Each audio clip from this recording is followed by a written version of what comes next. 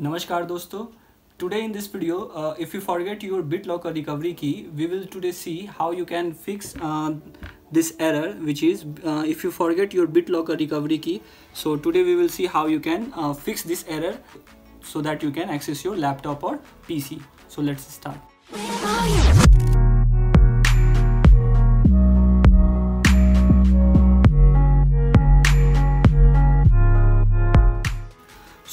as you can see uh, here uh, it is it is uh, Microsoft is telling you that you can try your Microsoft account. This is the link aka which is you, you can see in the description. So you have to visit this uh, Microsoft account website.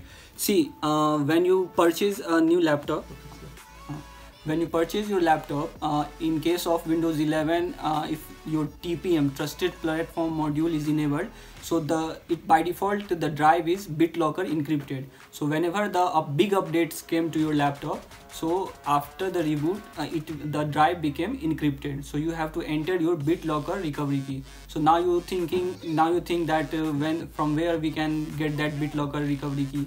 So there are many options but i think if you uh, if you haven't backup the first option is you have to backup your recovery key when you have your the laptop which is accessible.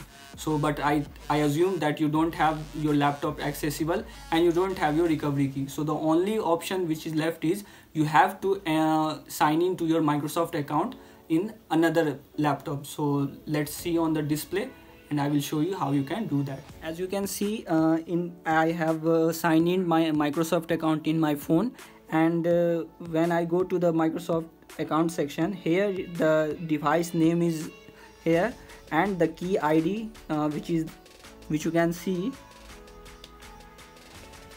As you can see your ID ID this this four this ID E738 you can also see here the key ID is E7 3BE so by that we can uh, confirm that this is the key id which we have to want and as you can see here the recovery key section these are the recoveries keys these are the recovery keys uh, by which you can recover your BitLocker account. So now we will enter the key and let's see our problem is solved or not. So now we will enter our uh, recovery key. So let's see.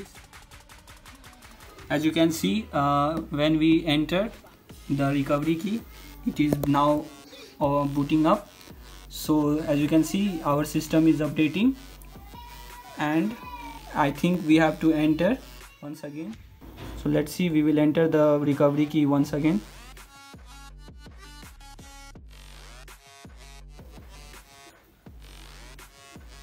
So now we have entered once again our recovery key. And now our updates are updates our system is updating and let's see after that. As you can see here woo as you can see our desktop has come and uh, we have successfully fixed uh, this error. So so as you can see in this video guys uh, we have successfully fixed this error. If you forget your BitLocker recovery key so how we have recovered. So I in this case I am assuming that you have your Microsoft account with yourself uh, so you can log in on another laptop or as you have seen in my case I have logged in on my mobile phone and I got the recovery key. Now what you have to do uh, just now for those who have successfully recovered these I have a one bonus tip.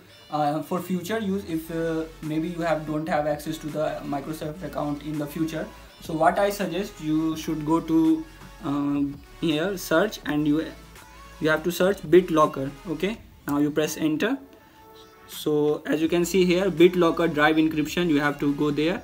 And uh, see here the option backup your recovery key. So you need to backup your recovery key and you can save to a file okay?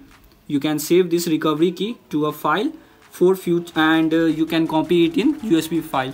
For if in future uh, whether you can encounter this error once again so you have your backup key in your usb drive or whether any safe place so you can access it other than Microsoft account. So this is the video on how you can fix your BitLocker recovery key. Thank you so much for watching this video. You can subscribe this channel for more videos like Windows uh, related videos, servers, networking. And if you if this video helps you and uh, solve your problem, then like this video and please share your comment uh, so that I can know that this video solve your problem. Thank you so much. Jai Hind.